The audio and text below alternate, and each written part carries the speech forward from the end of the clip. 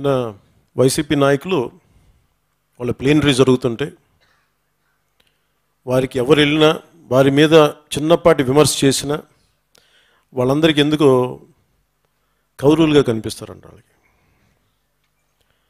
అసలు కౌరవులు అనేవాళ్ళు ఎవరంటే అది చెప్తా. ఉట్టి అలాగే. కౌరవులు ఏంటంటే కౌరవులు ఎప్పుడు రాజ్యాధికారం కోల్పోలే. కౌరవులు రాజ్యాధికారం ఉండి పాండవులకు రాజ్యాధికారం లేకుండా చేశారు. సో రాజ్యాధికారంలో ఉన్నవాళ్ళు రాజ్యాధికారంలో లేని వాళ్ళని చూసి వీళ్ళు కౌరవులు మమ్మల్ని చంపేస్తారు మమ్మల్ని చూడండి అన్యాయం చేస్తారు. ఒక నూట యాభై ఒక్క మంది నూట యాభై ఒక్క మంది ఎమ్మెల్యేలు లక్ష కోట్ల ఆస్తి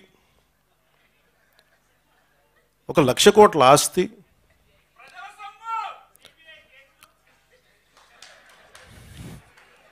లక్ష కోట్ల ఆస్తి. చాలా సొంత చిన్నాయన్ని చంపేసిన కత్తి కొడికత్తి పొడిపించుకుని ఇలాంటి సంఘటనలు.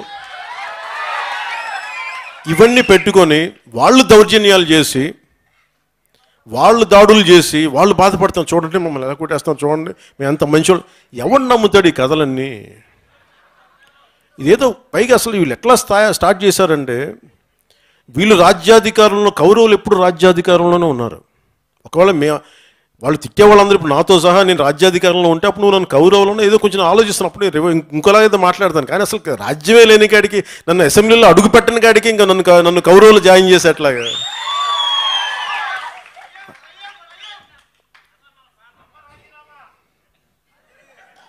సినిమా నాది అలా చూడలేదు. అమ్మ రాజీనామానా అది? ఏ సినిమా పేరేంటి శారద గారు యాక్ట్ చేశారు కదా.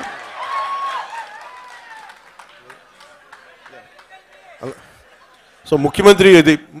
నిన్న వాళ్ళ ప్లీనరీలో వాళ్ళు కూర్చొని మాట్లాడుతుంది ఏంటంటే ఇలా చేస్తూ ఉన్నారు. వాళ్ళు బాధపడుతూ ఉన్నారు.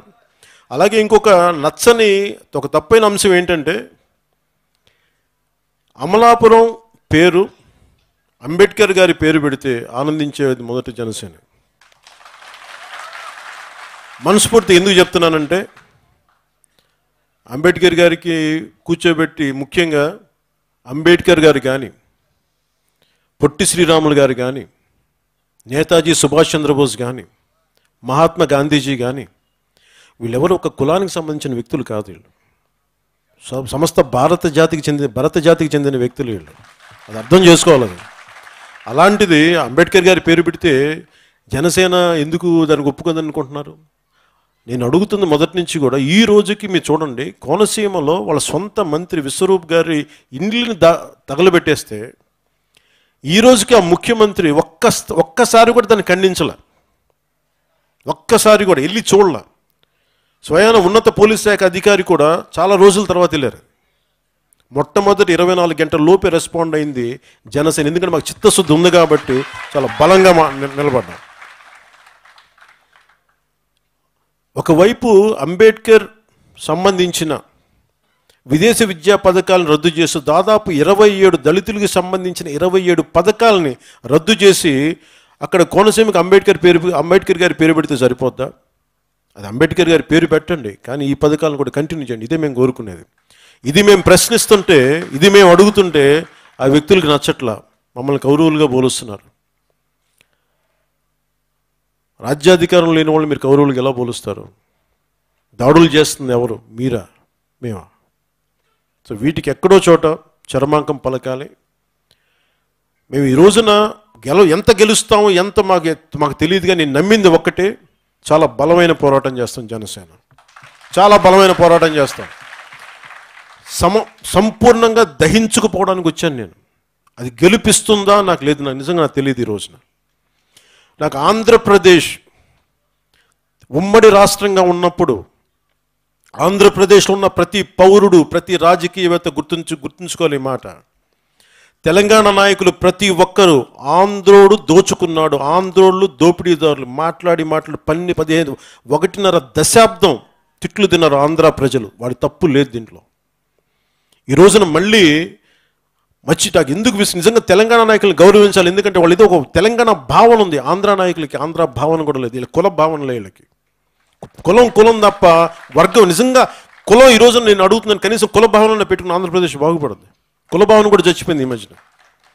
ఎందుకంటే ఈ రాష్ట్ర ముఖ్యమంత్రి ప్రతి ఒక్కరు అన్ని కులాలకు సంబంధించిన వ్యక్తులను చూడండి. కాపులకు సంబంధించిన వ్యక్తులు ఉంటారు. ఎస్సీ వర్గాలకు చెందిన వ్యక్తులు ఉంటారు. అందరూ కలిపి వారు కనీసం వారి కులాలకు చేసుకుని నేను ఆనందపడతాను కనీసం వాళ్ళ కులాలు కూడా చేసుకోవట్లా. ఆయన బాగుంటే చాలు మా ముఖ్యమంత్రిగా నవ్వితే చాలు మాకు మాకు అదే కడుపు నిండిపోతుందని చెప్పి వాళ్ళ సొంత కులాలను కూడా తిట్టుకునే స్థాయికి వెళ్ళిపోయారు ఈ రోజున. అలాగే కాపు ముఖ్యంగా కాపు రిజర్వేషన్లకు సంబంధించి కాపు రిజర్వేషన్లకు సంబంధించి కాపు నిధులకు సంబంధించి ఈ రోజున వాళ్ళ కాపు కార్పొరేషన్ సంబంధించి ఏ పనులు చేయలేదు.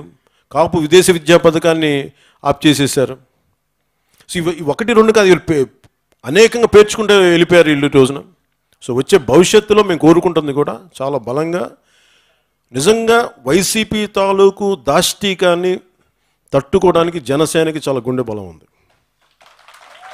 అలాగే ఇది ఒక్క రోజుతోటి వైసీపీ నిన్న ప్లీనరీలు కూడా చూశాను. జనసేనని అడుగుపెట్టనే అసెంబ్లీలో అంటే మీరు దిగొచ్చారంట మిమ్మల్ని అడుగు పెట్టనివ్వకుండా ఉంటాను.